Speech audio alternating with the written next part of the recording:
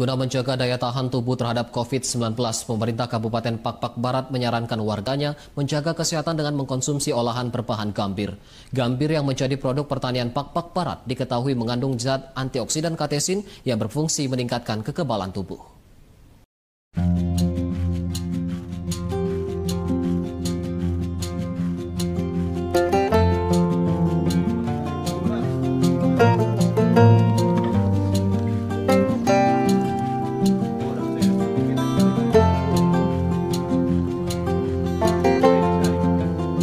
Kalau berdasarkan cuplikan berita tadi, gambir disebut sebagai salah satu tanaman yang kandungan katekinnya bersifat antioksidan dan dapat meningkatkan imunitas.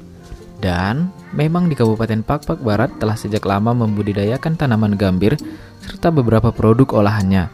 Mungkin karena minum teh gambir juga ya, sampai sekarang kabupaten ini masih berada di zona hijau penyebaran COVID-19 di Provinsi Sumatera Utara. Bisa jadi Gambir atau masyarakat Pakpak biasa menyebutnya gamber merupakan tanaman endemik yang banyak tumbuh di Kabupaten Pakpak Barat yang telah dibudidayakan sejak lama. Hingga saat ini, gambir terus bertahan menjadi salah satu pertanian andalan masyarakat. Tentu bukan tanpa alasan. Perawatan yang ringan, pengolahan yang relatif mudah, belum ditemukannya hama dan penyakit tanaman yang berdampak serius pada kesuburan tanaman gambir dan harga jual yang relatif stabil menjadi alasan mereka masih setia menanam gambir.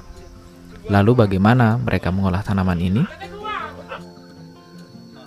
Ya, jadi cara pengolahan gambiren habis kita peti batang nanai, baru kita rebus. Ah, kira-kira pengrebusan uh, dekahna sekitar dua jam. Habis dua jam, baru kita press, baru pengendapan namanya sada beringin.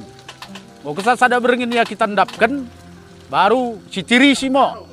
Tirisi paling-paling telu jam ngoboi cetai jadi habis pencetakan ah, baru arem kena baru masa sirimpikan jadi nggak saya rimpikan nih ya ya baru mau si bengken mi penjemuran bagian. Jadi setelah nadekah nasang kerah ya hampir ngo 6 sampai pitu hari.